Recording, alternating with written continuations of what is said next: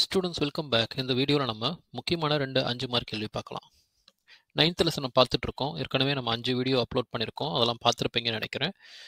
அஞ்சாவது வீடியோ ரொம்ப முக்கியம். அதை புரிஞ்சிருந்தால் தான் இந்த ஆறாவது வீடியோ நீங்கள் பார்க்க முடியும். அதனால் அஞ்சாவது வீடியோ பார்த்துட்டு இதை பாருங்கள் போர் வந்துட்டு நமக்கு இன்றைக்கு அன்னாடமாக பயன்படுத்தக்கூடிய அட்டாமிக் ஸ்ட்ரக்சரை வந்து கொடுக்குறார். அணு மாதிரியை வந்து கொடுக்குறார்.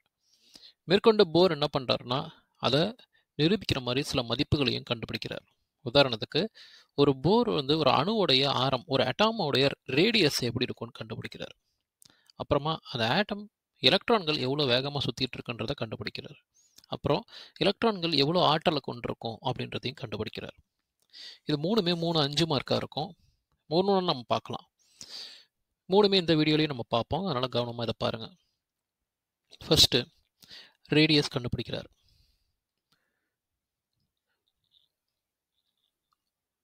ஆரம் அல்லது ரேடியஸ் ஆரம்னா என்ன? ஒரு வட்டத்தில் பாதி தான் நமக்கு ஆரம்னு நம்ம கூப்பிடுவோம். உதாரணத்துக்கு ஒரு அணுவோட கரு இருக்குது அதை சுற்றி ஒரு ஆர்பிட்டல் மட்டும் நம்ம கணக்கில் எடுத்துக்குவோம்.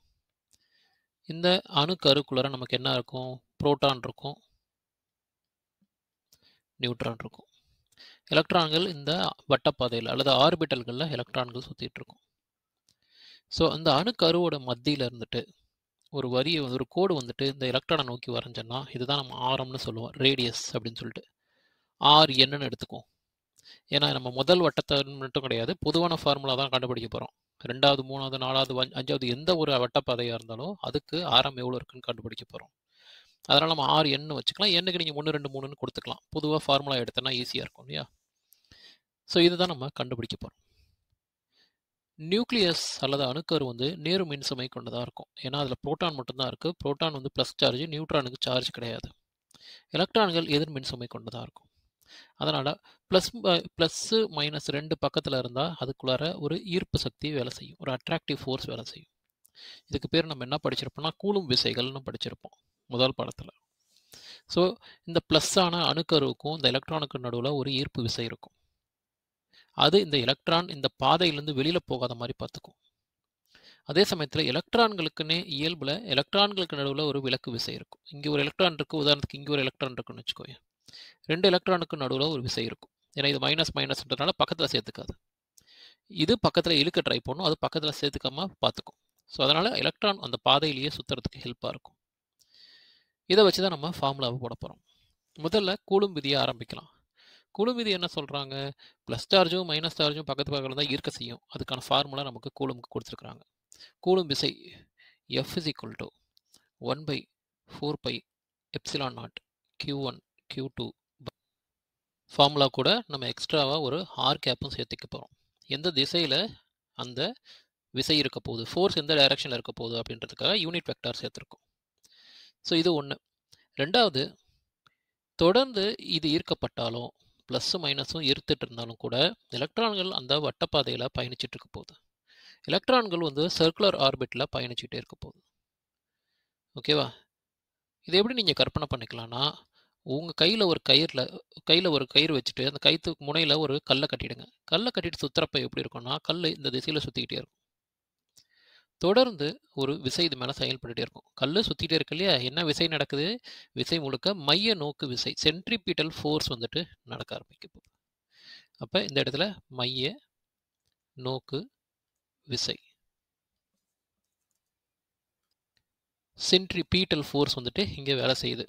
சென்ட்ரிபீட்டல் ஃபோர்ஸ் அந்த அட்ராக்ஷனையும் தாண்டி நியூக்ளியஸும் எலக்ட்ரான்களும் ஈர்க்கிறதையும் தாண்டி எலக்ட்ரான்கள் நியூக்ளியஸோடையே போயிடல அந்த பாதை எலக்ட்ரான்களை பிடிச்சி வச்சிருக்கு. இப்போ எவ்வளோ தூரம் ஈர்க்குதோ அதுக்கு இணையான ஒரு விசையை அந்த பாதை வந்து கொடுக்குது. அதனால் ரெண்டு விதமான விசைகளையும் சமன்படுத்திக்கலாம். இங்கே கூலும் விசை இருந்துச்சு இல்லையா? அதை சமன்படுத்திக்கலாம்.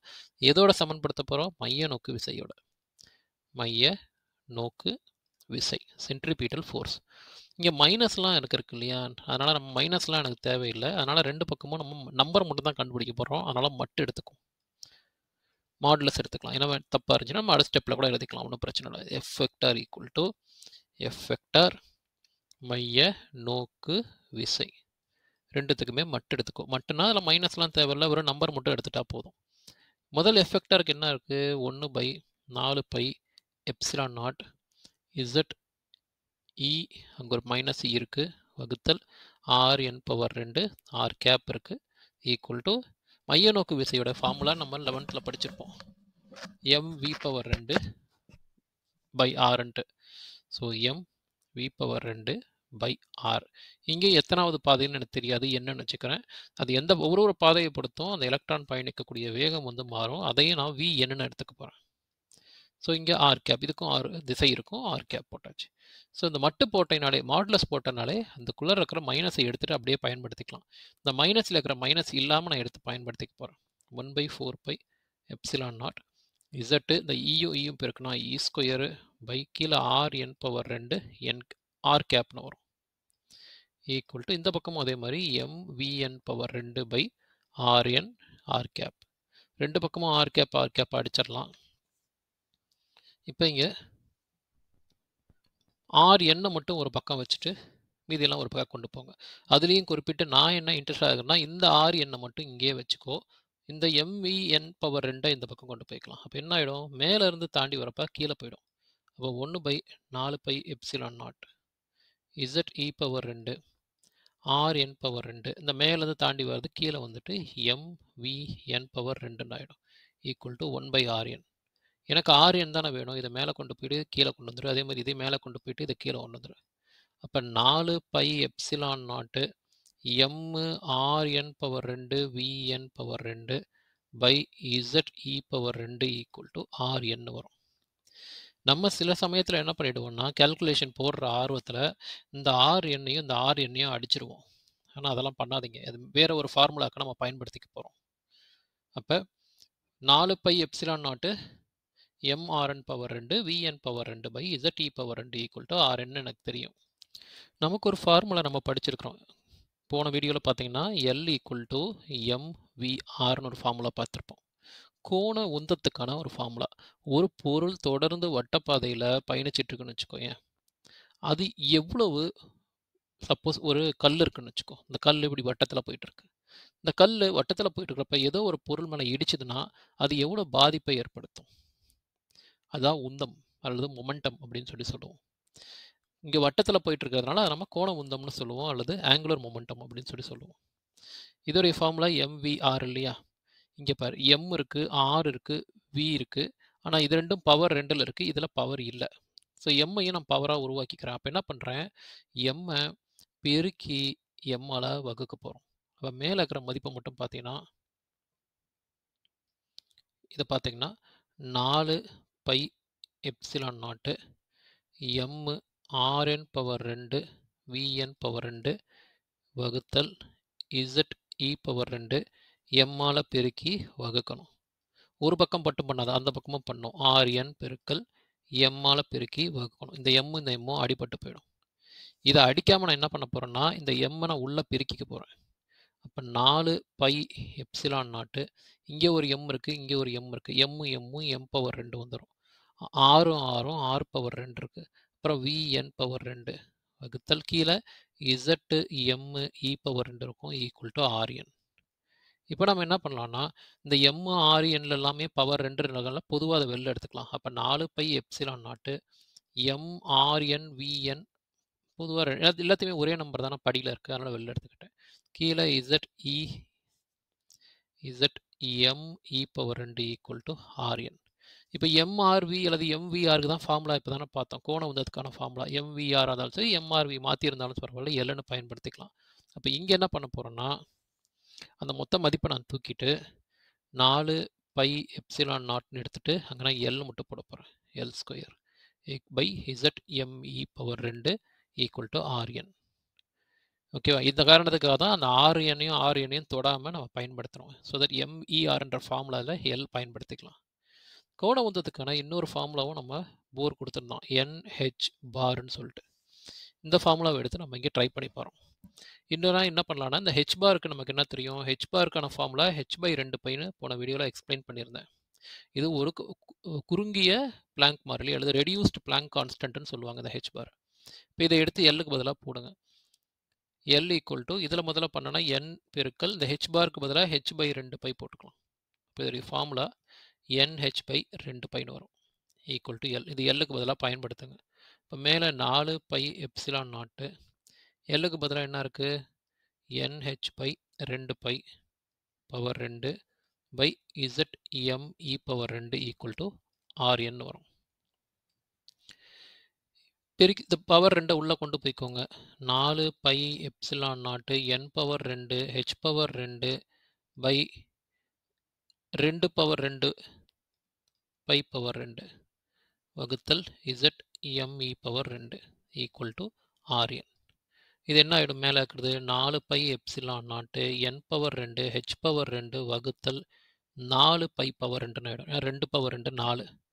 வகுத்தலில் இருக்கிற இதை நான் பெருக்கல்ல மாற்றி எழுதிக்கிறேன். அப்போ இதோடைய தலைகீழ் மதிப்பு வந்துடும் one by Z M E power ரெண்டு ஈக்குவல் டு ஆர்என் இங்கே நாலு இருக்குது இங்கே நாலு அடிச்சிடலாம். இவர் பை இருக்குது ரெண்டு மடங்கு பை இருக்குல்ல அடிச்சுட்டு ஒரு மடங்கு பை போட்டுக்கலாம். வேறு எதுவும் அடிக்கிற மாதிரிலாம் இல்லை. அப்போ மீதி எடுத்து எழுதிக்கலாம். Epsilon naught N square H square by pi Z M E square equal to R N அப்படின்னு வரும். இது நம்மளுடைய அடிப்படையான ஃபார்முலா இதை தான் நம்ம பேஸாக வச்சு எல்லாமே நம்ம பண்ண போகிறோம் இப்போ இந்த ஃபார்முலாவில் பார்த்தீங்கன்னா சில இதெல்லாம் கான்ஸ்டன்ஸ் மாறிலிகள். உதாரணத்துக்கு எப்சிலான் நாட் இதோடைய மாறிலி தான். இதோடைய மதிப்பு நம்ம எட்டு புள்ளி எட்டு அஞ்சுன்னு ஒரு நம்பர் பார்த்தோம். ஃபர்ஸ்ட் லெசனில் பார்த்துருப்போம். என்னன்றது மாறிக்கிட்டே இருக்கும். என்னன்றது எத்தனாவது வட்டப்பாதை? ஒன்றா ரெண்டா மூணா அப்படின்னு சொல்லிட்டு. ஹெச்ன்றது மாறாது. ஹெச்ன்றது பிளாங்க் மாறிலி. ஆறு புள்ளி ஆறு ரெண்டு ஆறு பெருக்கல் பத்து போர் மைனஸ் முப்பத்தி நாலு அப்போ எப்சிலான் நாட் மாறாது. ஹெச்சு மாறாது. பையன்றதும் மூணு புள்ளி ஒன்று நாலு. அதுவும் மாறாது. எம்ன்றது எலக்ட்ரானுடைய நிறை. ஒம்பது புள்ளி ஒன்று ஒன்று பெருக்கல் பத்து போர் மைனஸ் முப்பத்தொன்று அதுவும் மாறாது. ஈன்றது எலக்ட்ரானுடைய மின்சுமை. ஒன்று புள்ளி ஆறு பெருக்கல் பத்து போர் மைனஸ் பத்தொம்போது இதெல்லாமே மாறாது. இதெல்லாமே மாறாதனால அது தனியாக வெளில எடுத்துக்கலாம். அப்போ epsilon naught H square by pi Z M இந்த e இ பவர் சரி இசட் எடுக்கிறதுக்காக வெளில இசட் மாறும் எம்மு E இ பவர் ரெண்டு. இசட்ன்றது அணு எண் இல்லையா? அது ஒன்று ரெண்டு மூணு அது மாறிக்கிட்டே இருக்கும். அதனால தான் இசட் நான் எடுத்துக்கல. ஸோ இதை நம்ம தனியாக எடுத்துக்கலாம். மீதி என்ன இருக்கும்? ஒரு என் ஸ்கொயர் இருக்கும் பை இசட் இருக்கும். இது நமக்கு ஆர் என்னு நம்ம எடுத்துக்கலாம். இங்கே உள்ளே இருக்கிற இந்த மொத்த மதிப்புக்கு பதிலாக நான் டம்மியாக ஒரு வேல்யூ போட போகிறேன் அந்த வேல்யூ வந்துட்டு ஏ நாட்னு வச்சுக்க போகிறேன் அதாவது epsilon naught H square by பையம் E ஸ்கொயரோட மதிப்பை நான் ஏ நாட்னு வச்சுக்க போகிறேன் அது ஏ நாட் அப்படின்றது என்னன்னா போருடைய ஆரம் அப்படின்னு கூப்பிடுறாங்க. போர் ஆர மதிப்பு அல்லது போர் ரேடியஸ் அப்படின்னு கேட்பாங்க. டூ மார்க்கில் கேட்பாங்க. ஓகேவா இங்கு ஏ நாட் எதுவே போர் ஆரம் எனப்படும். இது அணு ஒன்றின் சுற்றுப்பாதையின் சிறும ஆரம் ஆகும் அப்படின்றாங்க. குறைந்தபட்ச மதிப்பாக இருக்கும். இப்போ எண்ணுக்கு ஒன்று கொடுத்தினா இல்லை அணுக்கு ஒன்று கொடுத்தினா சி மிகச்சிறிய ஆரம் உனக்கு கிடைக்கும். இப்போ ஏ நாட் எடுத்து இங்கே போட்டீங்கன்னா ஆர் என்னோட மதிப்பு என்ன வரும்னா A naught N power two by இசட்னு வரும். இதுதான் ரொம்ப எளிமையான போருக்கான ச சமன்பாடு. ஓகேவா? இது வரைக்கும் நம்ம திருப்பி ஒரு தடவை பார்த்துக்கலாம். முதல்ல இது வந்து எலக்ட்ரானும் அணுவும் ஈர்க்கப்படும். ஈர்க்கப்படுறதுனால கூலும் விசையை வச்சு எஃபோட ஃபார்முலா எடுத்துக்கிட்டோம். அதே மாதிரி அதே சமயத்தில் எலக்ட்ரான்கள் முழுமையாக ஈர்க்கப்படாமல் அது பாதையிலேயே தான் இருக்க போகுது. ஒரு மைய நோக்கு விசை செயல்படுறதுனால சென்ட்ரிபிட்டல் ஃபோர்ஸ் ஃபார்ம்லாம் எடுத்துக்கிட்டோம். ரெண்டுமே சமன்படுத்தணும். சமன்படுத்துகிறப்ப ஆர் என்னோட மதிப்பு நமக்கு கிடைச்சது. அதில் ஒரு மதிப்பை எம்மோட எக்ஸ்ட்ராவை சேர்க்கறது மூலமாக இதை நான் வந்து என்ன பண்ணிட்டோம்? இது நமக்கு கோண உந்தத்துக்கான ஃபார்முலாவாக மாற்றணும் எல்லை உள்ளே கொண்டு வந்து அறிமுகப்படுத்தணும். அப்புறம் எல்லுக்கு என்ஹெச் பை ரெண்டு பைன்னு இன்னொரு ஃபார்முலா இருக்குது அதையும் அறிமுகப்படுத்தினேன் அப்புறம் மாறிலிகள்லாம் பொதுவாக வெளில எடுத்துகிட்டு இந்த வடிவத்துக்கு கொண்டு வந்தேன். இப்போ நீங்கள் இசட்டுக்கு என்ன கொடுக்குறீங்க அப்படின்றத பொறுத்து எண்ணுக்கு என்ன கொடுக்குறீங்க அப்படின்றத பொறுத்து மாறிக்கிட்டே இருக்கும். உதாரணத்துக்கு ஹைட்ரஜன் அணுவை எடுத்துக்கலாம். ஹைட்ரஜன் அணுக்குடைய அட்டாமிக் நம்பர் அணு எண் வந்து ஒன்று அப்போ இந்த இடத்துல இசட்டுக்கு ஒன்று கொடுத்தா என்ன வரும்? R N equal to A naught N ஸ்கொயர்னு வரும். வேறு இங்கே இருக்குது இசட்டுக்கு ஒன்று கொடுத்தோன்னா இப்போ நம்ம வந்துட்டு முதல் சுற்றுப்பாதை இதில் இந்த இதுக்கு முதல் சுற்றுப்பாதை வேணும்னா எண்ணுக்கு ஒன் கொடுங்க. அப்போ R N equal to A naught A நாட்டுக்கு இங்கே இருக்கிற மதிப்புகளை நம்ம சொன்னோம் இல்லையா? எப்சிலா நாட்டுக்கு எட்டு புள்ளி எட்டு அஞ்சு பெருக்கள் சம்திங் போடலாம். ஹெச் வந்து பிளாங்க் மாறிலி. இந்த மதிப்பெல்லாம் சப்ஸ்டிட் பண்ணேன் ஏ நாட்டுடைய மதிப்பு என்ன வரும்னு பார்த்தீங்கன்னா ஏ நாட்டுக்கு ஜீரோ புள்ளி அஞ்சு ரெண்டு ஒம்பது ஆம்ஸ்ட்ராங்னு வரும்.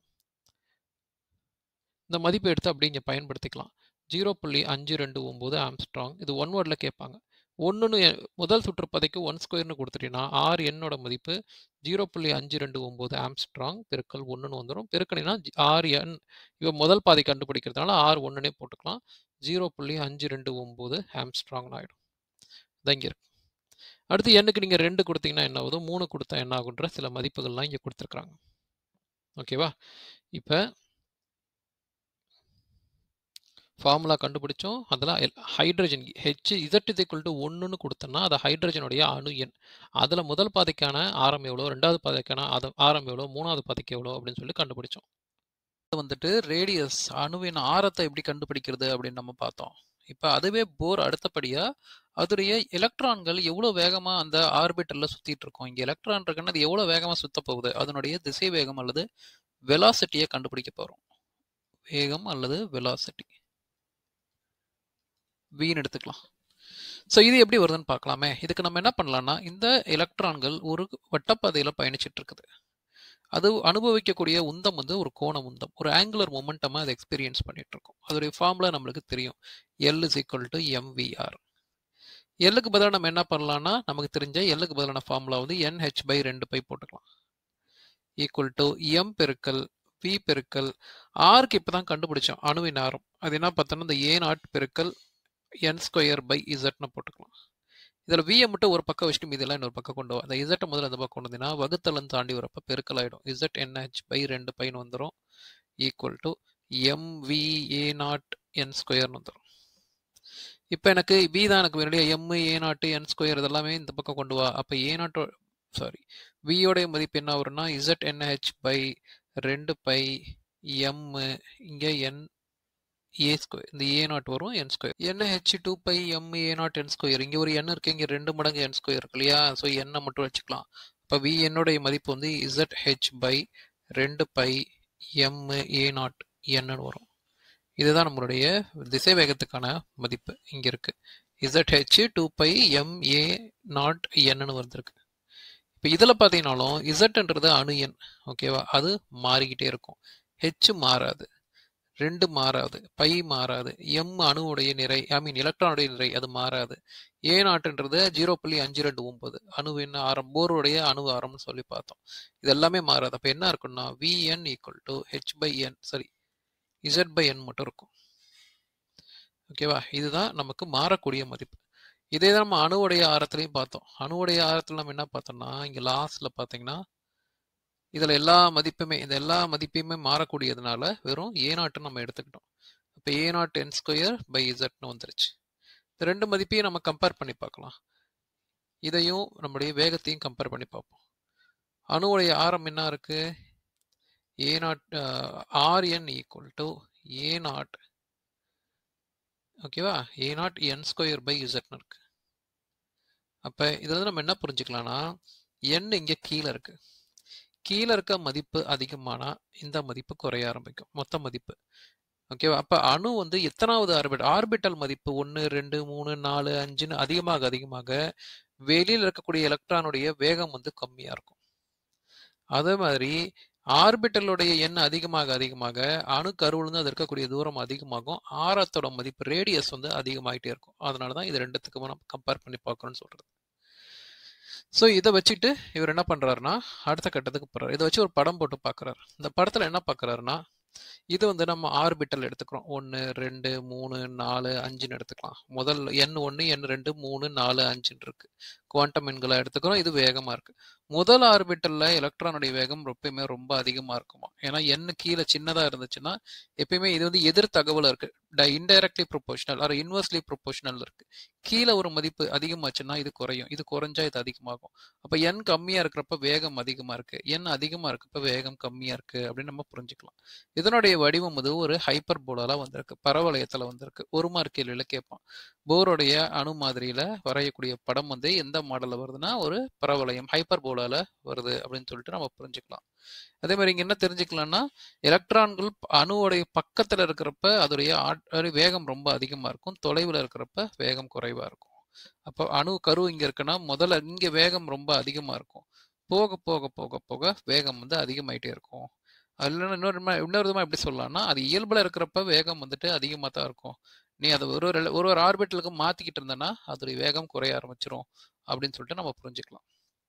இது ஒரு கான்செப்ட் இதில் நம்ம ரெண்டு அஞ்சு மார்க் கேள்வி இது வரைக்கும் நம்ம பார்த்துருக்கோம். ஒன்று வந்து அணுவின் ஆரம் எப்படி கண்டுபிடிக்கிறது அதே சமயத்தில் அணுவுடைய அந்த எலக்ட்ரான் வேகத்தை எப்படி கண்டுபிடிக்குதுன்னு பார்த்தோம். இப்போ கடைசியாக அந்த எலக்ட்ரானுக்குன்னு ஒரு ஓகேவா ஒரு ஆ- ஆற்றல் இருக்கும். அந்த ஆற்றல் என்னன்னு சொல்லிட்டு பார்க்கலாம். Energy of the electron in nth orbit ஏன்னா எலக்ட்ரானுக்கு ஒரு ஆற்றல் வேணும். சுத்துற அளவுக்கு சக்தி வேணும் இல்லையா? அந்த ஆற்றலை பற்றி பார்க்க போகிறோம் வழக்கம் போல் படத்தை புரிஞ்சுக்கிட்டீங்கன்னா உனக்கு ஆன்சர் ரொம்ப ஈஸியாக கிடைக்கும். அணு கரு இருக்குது அணுவன் வட்டப்பாதைகள் இருக்குது ஆர்பிட் இருக்குது இல்லையா? இப்போ எல இங்கே நியூக்ளியஸ் இருக்குது அணு கரு இருக்குது இங்கே எலக்ட்ரான் போயிட்டு இருக்குன்னு கற்பனை பண்ணிக்கும் இப்போ இந்த எலக்ட்ரான்கள் என்ன நட என்ன நடக்கும்னு பார்த்தீங்கன்னா இந்த எலக்ட்ரான் ரெண்டு விதமான ஆற்றல்கள் சமாளிக்கிறதுக்கு அதுக்கு சக்தி தேவைப்படுது. ஒன்று இந்த நியூக்ளியஸ் ப்ளஸ்ஸில் இருக்கிறதுனால இவனோட நோக்கி போயிடக்கூடாது. அதனால் போகாமல் இருக்கிறதுக்குன்னு ஒரு ஆற்றல் வேணும். ஓகேவா? இதே சமயத்தில் எலக்ட்ரான்கள் இந்த பாதியில் சுற்றி வர்றதுக்கும் ஒரு ஆற்றல் வேணும். ரெண்டு விதமான ஆற்றல் தேவை.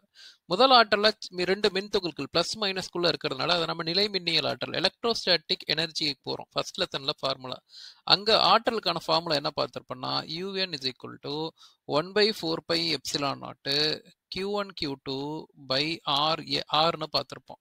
இங்கே என் ஒன்று ரெண்டு மூணு ஆர்பிட்டல்கள் மாறிட்டே இருக்கும் இல்லையா? அதனால ஆர் என் எடுத்துக்கலாம்.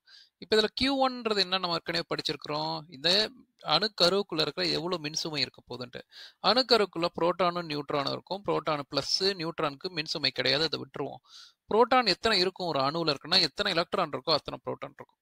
எத்தனை எலக்ட்ரான் இருக்குன்னு எப்படி கண்டுபிடிப்பேன்னா அந்த அணுவுடைய அணு எண் அட்டாமிக் நம்பரை வச்சு கண்டுபிடிக்கலாம். அப்போ இதை எப்படி எழுதலாம்னா இந்த அணுக்கருக்குள்ளர இசட் அளவுக்கு மின்சுமை இருக்கும் அப்படின்னு எழுத போகிறோம் ஓகேவா இசட் அளவுக்கு மின்சுமை இருக்குன்னா அதை நம்ம இசட் இ அப்படின்னு எழுதலாம். E இன்றது எத்தனை எலக்ட்ரான்கள் இருக்கும்? இசட் மடங்கு எலக்ட்ரான்கள் இருக்கும் அப்படின்ட்டு.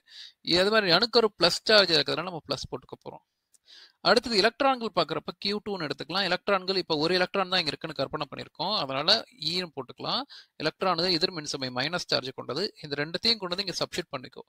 U N is equal to one by four pi epsilon naught Q ஒன்னுக்கான மதிப்பு இசட் இ கியூ டூக்கான மதிப்பு மைனஸ் இ e பெருக்கல் ஆர்என் அப்படின்னு வந்துடும் U N equal to one by four pi epsilon naught Z அப்படியே வச்சுக்கோ. E இயும் பெருக்கினா இ e ஸ்கொயர் வந்துடும் பை ஆர் என் வந்துடும் அந்த மைனஸ் வெளில கொண்டு வந்துக்கோ. இது வந்துட்டு நிலைமின்னியனுடைய ஆற்றல் எலக்ட்ரோஸ்டாட்டிக் எனர்ஜிக்கான வேல்யூ ரெண்டாவது எலக்ட்ரான்கள் தொடர்ந்து நகர்ந்துகிட்டே இருக்கு இல்லையா? அங்க ஒரு நகர்ந்துகிட்டே இருக்கிறதுனால அங்க ஒரு இயக்க ஆற்றல் இருக்கும். கைனட்டிக் எனர்ஜி இருக்கும். அப்ப கைனட்டிக் எனர்ஜியோட ஃபார்முலா என்ன நமக்கு தெரியும்? ஒன்னு பை ரெண்டு எம்வி ஸ்கொயர்னு தெரியும். ஓகேவா ஸோ இந்த ஃபார்முலாவை ரெண்டையும் நம்ம பயன்படுத்த போறோம். இது ரெண்டு ஃபார்முலாவே நம்ம எடுத்துக்கலாம். இதை தான் பயன்படுத்த போகிறோம் முதல்ல இதில் நமக்கு என்ன தெரிஞ்சிருக்கு? ஏன்னா ஏற்கனவே போர் வந்து அணுவின் ஆரத்துக்கும் அணுவுடைய வேகத்துக்கும் ஃபார்முலா கொடுத்துட்டான். அப்போ அணுவின் ஆரம் என்ன இருக்கு? ஆர் எண்ணுக்கு நமக்கு மதிப்பு தெரியும். ஆர் எண் என்னது? Epsilon naught H square N square by pi M E square Z இதுதான் நம்ம போன கொஸ்டின்ல போன அஞ்சு மார்க் கேள்வியில முதல் பகுதியில கண்டுபிடிச்சோம். இந்த ஆர் என்ன எடுத்து இதுல போட்டுரு. ஏன்னா இங்க கீழே ஆர் என் இருக்கு. அப்ப யூ என்னுடைய மதிப்பு என்ன வரும்னா மைனஸ் இந்த ஒன்றும் இசட் இ ஸ்கொயரும் பெருக்குனா இசட் இ ஸ்கொயர் வந்துடும் வகுத்தல் கீழே நாலு பை எப்சிலான் நாட் வந்துடும் ஆர் எண்ணுக்கு பதிலாக நம்ம இங்கே இருக்கிற epsilon naught H square N square by pi M E square இசட்னு வந்துடும் அப்போ யூ என்னுடைய மதிப்பு எப்படி வந்துடும்னு பார்த்தீங்கன்னா மைனஸ் இசட் இ ஸ்கொயரு இந்த பையும் இந்த பையும் அடிச்சிடலாம். அந்த எப்ஸ் இங்கே வந்துட்டு உனக்கு வேற என்ன இருக்குது மேலே வந்து நாலு எப்சிலான் நாட்டு நாலு எப்சிலான் நாட்டு இங்கே ஒரு எப்சிலான் நாட் இங்கே ஒரு எப்சிலான் ரெண்டு எப்சிலான் நாட்டுக்குள்ள ஸ்கொயர் போட்டுக்கலாம். H square N square by கீழே வந்து எம் இ ஸ்கொயர் இசட்னு வரும். U N equal to minus Z E square இந்த வகுத்தல்ல இருக்கிற இந்த மொத்த மதிப்பை நான் பெருக்கல்ல மாற்றி எழுத போகிறேன் பெருக்கல் அத்துறப்ப கீழே இருக்குது மேலே போயிட்டு மேலே இருக்குது கீழே வந்துடும் அப்போ எம் இ e ஸ்கொயர் இசட்னு வந்துடும் வகுத்தல் கீழே வந்து நாலு epsilon naught square H square N ஸ்கொயர்னு வந்துடும் யூ என்னோட மதிப்பு மைனஸ் இங்கே ஒரு இசட் இங்கே ஒரு இசட் இருக்கு. இசட் ஸ்கொயர் வந்துடும் இ பவர் ரெண்டு e இ பவர் ரெண்டு e இ பவர் நாலுன்னு வந்துடும் எம் வகுத்தல். கீழே நாலு epsilon naught square H square N ஸ்கொயர்னு வந்துடும் ஸோ இவ்வளோ ஸ்டெப்பு வர்றது தான் புக்கில் சிம்பிளாக வந்துட்டு ஒரே ஸ்டெப்பில் ஆன்சர் கொடுத்துருப்பாங்க. இங்கேயே ஆன்சர் அப்படியே எடுத்து கொடுத்துட்டாங்க. இந்த மாதிரி பெருக்கி போடுறப்ப தான் ஈஸியாக இருக்கும். இல்லைனா தேவையில்லாம நீ மனப்பாடம் பண்ணுற மாதிரி ஆகிடும் அதனால் ஸ்டெப் பை ஸ்டெப்பாக நம்ம முதல் பகுதியை முடிச்சாச்சு. இப்போ நமக்கு என்ன தெரியும்னா மின்னியக்க அந்த நம்ம எலக்ட்ரோஸ்டாட்டிக் எனர்ஜி நிலை மின்னியல் ஆற்றலுக்கான நமக்கான ஃபார்முலா தெரிஞ்சிருச்சு. இப்போ அதே மாதிரி இந்த இயக்க ஆற்றல் கைனட்டிக் எனர்ஜியும் நம்ம எடுத்து அதை மாற்றி எழுதிக்கலாம். கேஇ ஈக்குவல் டு ஒன்று பை ரெண்டு எம்பி ஸ்கொயர் வி எலக்ட்ரானோடைய வேகத்தை கண்டுபிடிக்கிறதுக்கான ஃபார்முலா நம்ம ஏற்கனவே கண்டுபிடிச்சோம். அந்த ஃபார்முலாவை அப்படியே எடுத்துக்கலாம். அந்த ஃபார்முலா என்னன்னு பார்த்தோம்னா இசட் ஹெச் பை ரெண்டு pi M A naught N Z H by ஓகேவா எம் பிக்கு என்ன போட போகிறோம்னா இசட் ஹெச் பை ரெண்டு பை எம் ஏ நாட் என்னன்னு போட போகிறோம் ஓகேவா? எடுத்து எழுதிக்கலாமா? K E is equal to ஒன்று பை ரெண்டு எம் பெருக்கல் விக்கு என்ன பண்ணணும்? இசட் ஹெச் பை ரெண்டு pi M A naught N இங்கே வெளியில் பவர் ரெண்டு வேறு இருக்குல்ல அதனால் மொத்தத்துக்கும் பவர் ரெண்டு போட்டுக்கும் இப்போ கேஇயோட மதிப்பு என்ன வரும்னா ஒன்று பை ரெண்டு பெருக்கல் பவர் ரெண்டை உள்ளே பெருக்கிக்கோ. இசட் ஸ்கொயரு ஹெச் ஸ்கொயரு ரெண்டு square pi square M square A naught square N ஸ்கொயர்னு எடுத்துக்கலாம். இப்போ கேஇயோட மதிப்பு என்ன வரும்னா எல்லாத்தையும் பெருக்கிக்கலாம். பெருக்கிக்கிட்டு நம்ம தீர்வை கண்டுபிடிச்சிக்கலாம். ஒன்று எம்மு மேலே இருக்கிறதெல்லாம் பெருக்கினீங்கன்னா M Z square H square வந்துடும் கீழே இருக்கிறதெல்லாம் பெருக்கினீங்கன்னா ரெண்டு ரெண்டு பவர் ரெண்டு நாலு ஆகிடும் ரெண்டு நாலு எட்டு. Pi square M square A naught square N ஸ்கொயர்னு வந்துடும் ஓகேவா இதில் ஏதாவது அடிக்க முடியுமா அப்படின்னு பார்த்தீங்கன்னா இங்கே ஒரு மடங்கு எம் இருக்குது இங்கே ரெண்டு மடங்கு எம் இருக்குது அடிச்சுட்டு இங்கே ஒரு மடங்கு போட்டுக்கலாம். இப்போ கேஇயோட மதிப்பு என்ன வரும்னா Z square H square by எட்டு pi square M A naught square N ஸ்கொயர்னு ஆகிடும் இப்போ இதில் ஏ நாட்டுக்கும் நமக்கு ஃபார்முலா தெரியும். போர் வந்து இந்த மாற மா மாறாமல் இருக்கக்கூடிய எண்கள்லாம் எடுத்துட்டு போர் மதிப்பை கண்டுபிடிச்சார். அந்த ஏ நாட்டோடைய மதிப்பு பார்த்தீங்கன்னா இங்கே கீழே இருக்கும். நம்ம இங்கே போட்டிருப்போம். ஏ நாட்டுன்றது இதெல்லாம் மாறலப்பா அதனால் இதுக்கு பதிலாக நம்ம ஏ நாட்டுன்னு எடுத்துக்கிறோம் அப்படின்னோம். இந்த மதிப்பை எடுத்து பயன்படுத்த போகிறோம் இந்த மதிப்புக்கு பேர் போர் மதிப்பு போர் அணு மதிப்பு அல்லது போர் ரேடியஸ் அப்படின்னு சொல்லி சொல்லுவாங்க. அப்போ epsilon naught H square epsilon naught H square by M e E square பயன்படுத்த போகிறோம் ஏ நாட்டுக்கு எப்சிலான் நாட் இ ஸ்கொயர் கரெக்டாக இருக்கா? மறுபடியும் பார்த்துருவோம். தப்பாக எழுதிடக்கூடாது. Epsilon naught h square epsilon naught h square by pi m e square. இதை உள்ள கொண்டு வர போகிறோம் அப்போ கேஇயோட மதிப்பு என்ன ஆகிடும்னு பார்த்தீங்கன்னா Z square H square by எட்டு பை ஸ்கொயர் எம் அப்படியே வச்சுக்கோ. ஏக்கு பதிலாக இதை போட போகிறோம் அப்போ ஏக்கு பதில் இதை போட்டால் epsilon naught H square by pi M E square மறுபடியும் பவர் ரெண்டு இருக்கு இல்லையா? ரெண்டு. இங்கே ஒரு என் ஸ்கொயர் போட்டுக்கணும். இப்போ இதை நீங்கள் இன்னும் எளிமையாக மாற்றி எழுதிக்கும் இப்போ நான் எதுவுமே நம்ம மனப்பாடம் பண்ணல. எல்லாமே நம்ம எடுக்கிற மதிப்பை அப்படியே தீர்வு மூலமாக தான் கண்டுபிடிக்கிறோம். இல்லைன்னா ஒன்று ஒன்றுத்தையும் மனப்பாடம் பண்ணிகிட்டு இருக்கணும். எட்டு பை ஸ்கொயர் எம் பெருக்கல். இங்கே என்ன இருக்கும்? வர்க்கப்படுத்தினா epsilon naught square. H power ரெண்டும் ரெண்டும் ஹெச் பவர் நாலு ஆகிடும் கீழே அதே மாதிரி pi square M square e E power நாலுன்னு ஆகிடும் இங்கே ஒரு என் ஸ்கொயர் இருக்கும். பை ஸ்கொயரையும் பை ஸ்கொயரையும் அடிச்சிடலாம் இங்கே ஒரு எம் இருக்குது இங்கே ரெண்டு எம் இருக்குது அடிச்சுட்டு ஒரு எம் போட்டுடலாம் இப்போ கேஇயோட e மதிப்பு என்ன வரும்னா இசட் ஸ்கொயர் ஹெச் ஸ்கொயர் வகுத்தல். மேலே என்ன இருக்குது? இங்கே ஒரு எட்டு இருக்குது எட்டு epsilon naught square H power நாலு என் ஸ்கொயர் வகுத்தல். கீழே பார்த்தீங்கன்னா ஒரு எம்மும் ஒரு e இ பவர் நாலும் இருக்கும். K E is equal to Z square H square வகுத்தல்ல இருக்கிற இந்த மதிப்பை நான் பெருக்கல்ல மாற்றி எழுத போகிறேன் அப்போ கீழே இருக்கிறது மேலே போயிடும்.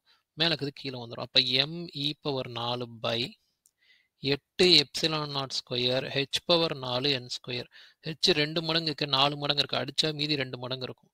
இப்போ கேஇயோட e மதிப்பு என்ன வரும்னா Z square M E power நாலு பை எட்டு epsilon naught square H square N square அப்படின்னு வரும்.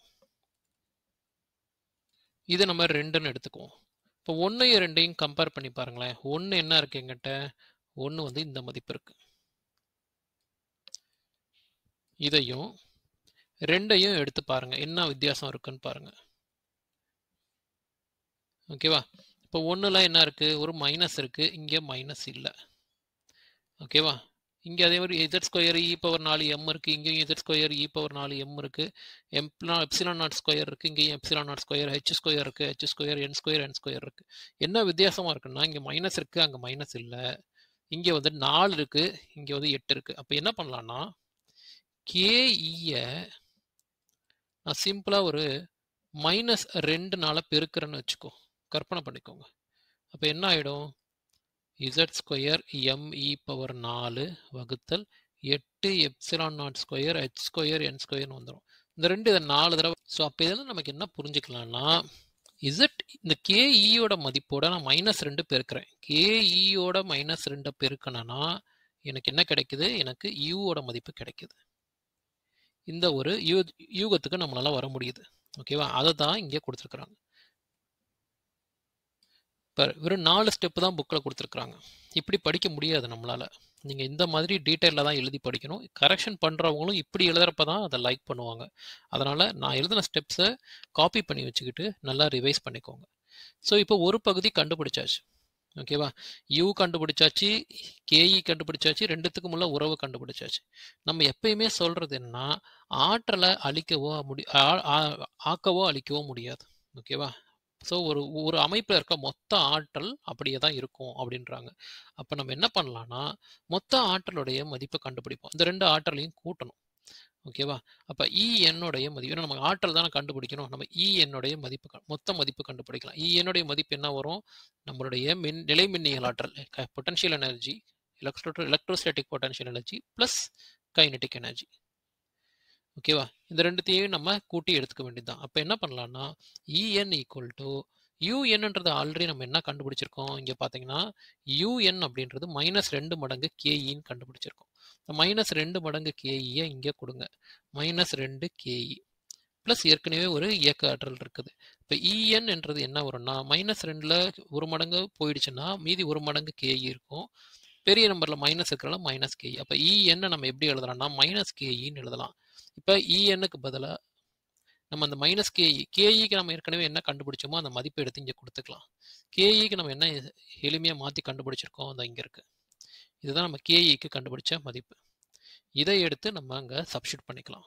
ஓகேவா இதை எடுத்து இங்கே போட்டோம்னா என்ன வரும்? கேஇக்கு பதிலாக நம்ம என்ன கொடுக்க போகிறோம் Z square M E power நாலு பை எட்டு epsilon naught square H square N square அப்படின்னு சொல்லிட்டு வரும். இதுதான் நம்மளுடைய ஆற்றலுக்கான மதிப்பு. அதை பார்த்தீங்கன்னா இங்கே கொடுத்துருப்பாங்க. இதுதான் நம்மளுடைய ஆற்றலுக்கான மதிப்பாக கொடுத்துருக்குறாங்க. இதில் நீங்கள் ஹைட்ரஜன் அணுவுக்கு கண்டுபிடிக்கணும்னா இந்த ஃபார்முலாவில் இசட்டுக்கு பதிலாக ஒன்று கொடுக்கணும். ஏன்னா ஹைட்ரஜனுடைய அணு எண் அட்டாமிக் நம்பர் வந்து ஒன்று இசட்டுன்றது அணு என்ன குறிக்குது. அப்போ இ என்னுடைய மதிப்பு என்ன வந்துடும் பார்த்தீங்கன்னா மைனஸ் இங்கே இசட்டுக்கு ஒன்று கொடுத்தனா ஒன்று ஸ்கொயர் ஒன்று ஸ்கொயர்னா ஒன்று தான் வரும். ஒன்று பெருக்கல் எம்இ பவர் நாலு. பை எட்டு epsilon naught square H square N ஸ்கொயர்னு வரும். ஸோ இஎன்னோட மதிப்பு என்ன வரும்னா மைனஸ் எம்இ பவர் நாலு பை எட்டு epsilon naught square H square N square. இதில் பார்த்தீங்கன்னா என்ன தவிர இது எல்லாமே மாறிலிகள் தான். ஓகேவா எம்ன்றது எலக்ட்ரானுடைய நிறை e இன்றது எலக்ட்ரானுடைய மின்சுமை. மாசு சார்ஜ் எட்டுன்றது நம்பர் எப்சிலான் நாட்டும் ஒரு கான்ஸ்டன்ட் தான். ஹெச்ன்றது பிளாங்க் மாறிலி. இது எல்லாத்தையுமே நம்ம பொதுவாக வெளில எடுத்துடலாம். ஏன்னா எல்லாமே மாறப்போகிறது கிடையாது. அப்போ E N is equal to இந்த எம்மு இ பவர் நாலு பை எட்டு epsilon naught square H square இது எல்லாத்தையுமே நம்ம வெளில எடுத்துக்கலாம். மீதி என்ன இருக்கும்? மைனஸ் இருக்கும். கீழே என் ஸ்கொயர் இருக்கிறதுனால ஒன் பை என் ஸ்கொயர்னு போட்டுக்கலாம். இந்த மைனஸை வெளியில் கூட எடுத்துக்கலாம் நீ. E N equal to minus M E power நாலு பை எட்டு epsilon naught square H square இங்கே வந்து ஒன் பை என் ஸ்கொயர்னு வரும். ஆற்றலை பொதுவாக நம்ம அது எலக்ட்ரானோட ஆற்றல் எழுதுறப்ப எலக்ட்ரான் வோல்ட்டில் எழுதணும். அதையும் அலகுகளாக எழுதிக்கோங்க. இப்போ இதுக்கான மதிப்பு எம்முக்கு நம்ம என்ன கொடுக்கலாம்? ஒம்பது புள்ளி ஒன்று ஒன்று பெருக்கல் பத்து பவர் மைனஸ் முப்பத்தி ஒன்று ஈக்கு e ஒன்று புள்ளி ஆறு பெருக்கல் பத்து பவர் மைனஸ் பத்தொம்போது நாலு மடங்கு. கீழே எட்டு. ஹெச்சுக்கு ஆறு புள்ளி ஆறு பெருக்கல் பத்து பவர் மைனஸ் முப்பத்தி நாலு. ரெண்டு மடங்கு இருக்குது எப்சிலான் நாட்டுடைய மதிப்பு என்னன்னா எட்டு புள்ளி எட்டு அஞ்சு பெருக்கல் பத்து பவர் மைனஸ் பன்னெண்டு. இது எல்லா இது வந்து பவர் ரெண்டு மடங்கு இருக்குது இது எல்லாத்தையுமே நீங்கள் தீர்த்து கூட்டி பெருக்கி வகுத்தீங்கன்னா உங்களுக்கு அதுக்கான ஆன்சர் என்ன வரும்னா இஎன் ஈக்குவல் டு மைனஸ் இதெல்லாம் தீர்வு கண்டுபிடிக்கிறப்ப பதிமூணு புள்ளி ஆறுன்னு வரும். பை கீழே என் ஸ்கொயர் இருக்குது இதுதான் ஆற்றலுக்கான மதிப்பு. இதில் என்னோட மதிப்பு ஒன்று ரெண்டு மூணுன்னு போடுறப்ப ஒரு ஒரு ஆர்பிட்டலுக்கான ஆற்றல் எவ்வளோன்னு கண்டுபிடிக்கலாம். உதாரணத்துக்கு அணுக்கரு இங்கே இருக்குது முதல் ஆர்பிட்டலுக்கான மதிப்பு வேணும்னா எண்ணுக்கு ஒன் கொடுங்க. ரெண்டாவது வேணும்னா எண்ணுக்கு ரெண்டு கொடுங்க. மூணாவதுக்கு வேணும்னா எண்ணுக்கு மூணு கொடுங்க. இந்த மாதிரி கொடுத்துட்டே போகலாம் நம்ம புக்கில் அதுக்கு சில எடுத்துக்காட்டுகள் கொடுத்துருப்பாங்க. உதாரணத்துக்கு எண்ணுக்கு ஒன்று கொடுத்தீங்கன்னா பதிமூ மைனஸ் பதிமூணு புள்ளி ஆறு வரும். எண்ணுக்கு ரெண்டு கொடுத்தீங்கன்னா மைனஸ் மூணு புள்ளி நாலு வரும். எண்ணுக்கு மூணு கொடுத்தீங்கன்னா மைனஸ் ஒன்று புள்ளி அஞ்சு ஒன்று போக போக போக ஆற்றல் அதிகமாகிட்டே போகுது. நம்பரில் குறைஞ்சாலும் மைனஸ் இருக்கிறதுனால மைனஸில் சின்ன நம்பர் தான் பெரிய நம்பர் மைனஸ் பத்து தான் பெரிய நம்பர் மைனஸ் இருபதை விட. அந்த மாதிரி மைனஸ் குறைஞ்சிக்கிட்டே போகிறதுனால அணு கருவிலேருந்து ஆர்பிட்டல்கள் விலகி வெளியில் போக போக அதோடைய ஆற்றல் அதிகமாயிட்டே போகுது அப்படின்னு சொல்லிட்டு சொல்கிறாங்க ஓகேவா அப்போ என்ன நம்ம புரிஞ்சுக்கலாம் அப்படின்னா அணுக்கு பக்கத்தில் இருக்கிற எலக்ட்ரானுடைய ஆர்பிட்டலுடைய ஆற்றல் ரொம்ப ரொம்ப கம்மியாக இருக்கும். போக வெளியில் போக போக ஆர்பிட்டலுடைய ஆற்றல் ரொம்ப அதிகமாக இருக்கும். ஏன்னா இந்த வெளியில் போக போக போக இந்த அணுக்கருவிலேருந்து எலக்ட்ரான்கள் ரொம்ப தூரமாக போக ஆரம்பிச்சிடும் தூரமாக போக ஆரம்பிச்சதுன்னா அணுக்கருவோட கண்ட்ரோலில் அது இருக்கிறதுக்கு வாய்ப்பு இல்லை அப்படி இருக்கிற பட்சத்தில் எலக்ட்ரான்கள் எளிமையாக வெளியில் புரிஞ்சு போகிறதுக்கு வாய்ப்புகள் இருக்குது அதனால் இந்த ஆர்பிட்டல்கள் அதிகமான சக்தி கொடுத்து இந்த எலக்ட்ரான்களை பிடிச்சு வச்சுக்குது அப்படின்னு நம்ம அதை புரிஞ்சுக்க முடியும். நடக்கிறப்பயே ஒரு ரெண்டு கான்செப்டை சொல்கிறாங்க ஓகேங்களா? இது கவனமாக புரிஞ்சுக்கோங்க. இது ரொம்ப முக்கியமானது. அணுக்கரு இருக்குது ஆர்பிட்டல்கள் இருக்குதுன்னு கற்பனை பண்ணிக்கோங்க.